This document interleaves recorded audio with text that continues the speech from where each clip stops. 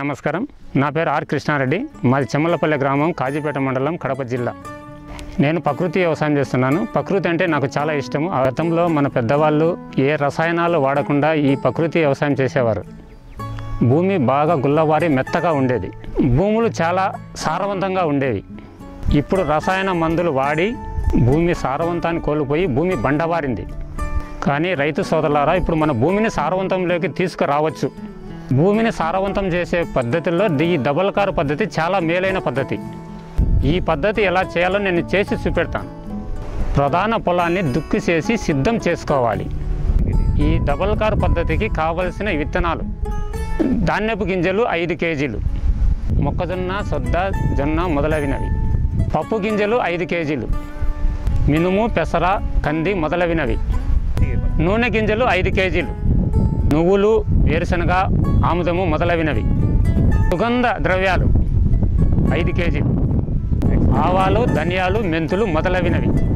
పచ్చిరొట్టె ఎరువులు ఐదు కేజీలు. జనుములు జీలగలు అవిసెలు మొదలైనవి. ఈ విత్తనాలన్నీ కలగలిపి ఎకరానికి ఇరవై నుండి ఇరవై ఐదు కేజీలు చల్లుకోవాలి.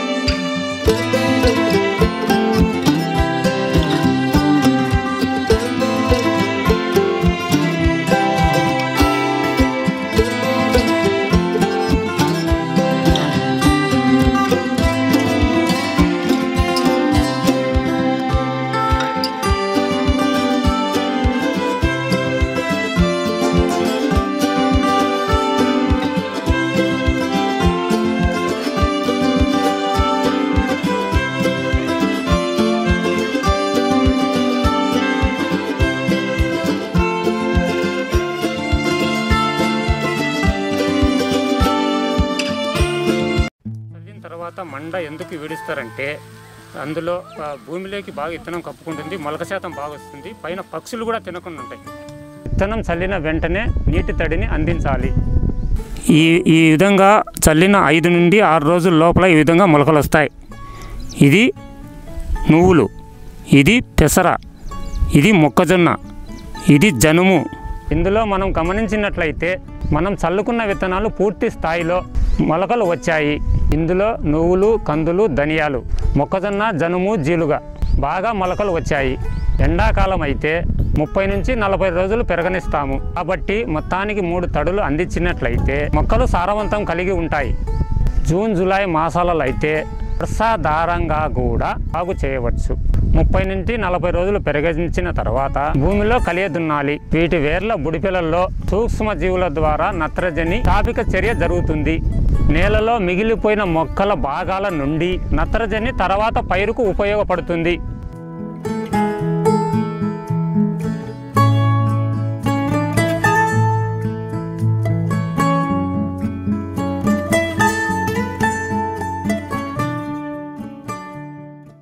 డబుల్ కారు పద్ధతిలో వేయడం వల్ల పంట కాలాన్ని నష్టపోతామేమో అని రైతు భావించినట్లయితే తమ పొలాన్ని మూడు భాగాలుగా విభజించుకొని ఏటా ఒక భాగంలో ఈ పద్ధతి పాటిస్తూ మూడు సంవత్సరాలలో మొత్తం భూమిని సారవంతం చేసుకోవచ్చు. వరికైతే నీళ్ళు పెట్టి రోటవేటర్ కొడతారు. ఇట్లా ఒట్టి పొలానికైతే బంచిన తర్వాత నా నాగలితో దున్నుకొని రోడ్డు బెటర్ కొడితే మట్టిలో బాగా కలిసిపోతుంది. భూమిలో మంచి పోషక సత్వాలు బాగా ఉప్పట్టవుతాయి దీని నేలలో బాగా కలియదున్ని నీరు పెట్టి రెండు నుండి మూడు వా మూడు వారాలు బాగా మురగనించాలి. ఈ సమయంలో కొన్ని హానికరమైన సేంద్రియ ఆమ్లాలు తయారవుతాయి తర్వాత మురుగునీరు తీసేసి కొత్త నీరు పెట్టిన తర్వాత పైరు నాటాలి. అప్పుడు మడిలో విత్తిన ముఖ్య పంటకు పోషకాలు అందుతాయి నలభై రోజుల తర్వాత ఇట కొడితే ఈ మొక్కలన్నీ బాగా భూమిలోకి కలిసిపోయి మళ్ళీ తర్వాత రోడ్డు వేటర్ కొడితే అంటే టిల్లర్ కొడితే పూర్తిగా భూమి బాగా గుల్లబారుతుంది.